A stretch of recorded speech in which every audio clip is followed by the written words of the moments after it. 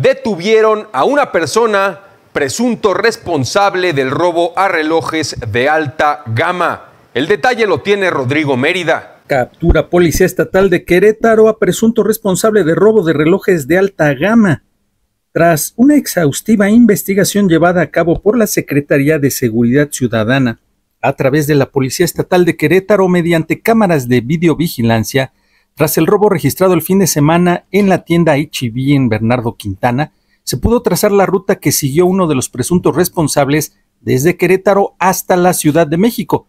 El análisis detallado de las imágenes y datos recopilados permitió a las autoridades identificar y rastrear al sospechoso con precisión. En una operación conjunta y coordinada con las autoridades de la Ciudad de México, se procedió a la localización y aseguramiento del individuo quien ahora enfrenta cargos por su presunta participación en estos actos delictivos.